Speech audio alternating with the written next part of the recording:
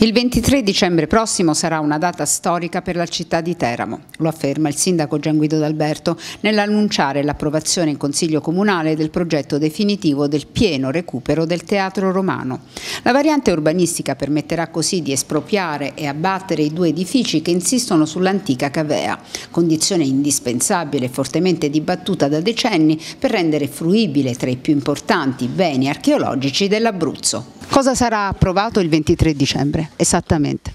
Beh, il 23 dicembre intanto è una giornata storica perché si mette il punto definitivo su quello che è l'obiettivo del recupero pieno e funzione del Teatro Romano attraverso l'eliminazione dei due palazzi Adamoli e Salvoni così come il Consiglio Comunale ha deciso quasi all'unanimità nel 2010. Dopo tanti anni di stallo, di rallentamenti abbiamo accelerato e siamo arrivati all'ultimo passaggio di fatto in Consiglio Comunale con la presa d'atto del progetto definitivo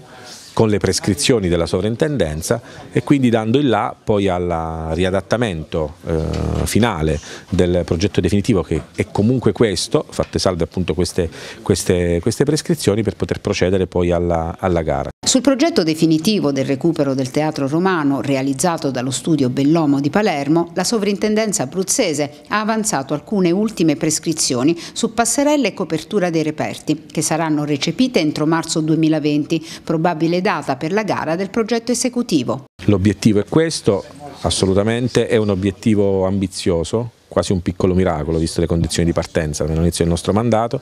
ma è un obiettivo alto, altissimo, che appartiene eh, ovviamente a una finalità centrale per la nostra città, per tutta la provincia, per la regione, quindi c'è anche una grande attenzione della regione Abruzzo su questo, su questo recupero e vogliamo andare in questa direzione con questi tempi. Si approva poi ovviamente la variante urbanistica con la dichiarazione di pubblica utilità propedetica agli espropri e questo è il vero fatto storico su cui abbiamo la piena eh, intesa con la sovrintendenza eh, e poi si approva lo stralcio lo stralcio di 4 milioni di euro che è l'importo che attualmente abbiamo a disposizione che consente quindi di procedere fin da subito ad una gara che ci porterà ad una rifunzionalizzazione del teatro in tempi eh, brevi quindi in attesa dell'ulteriore diciamo copertura finanziaria.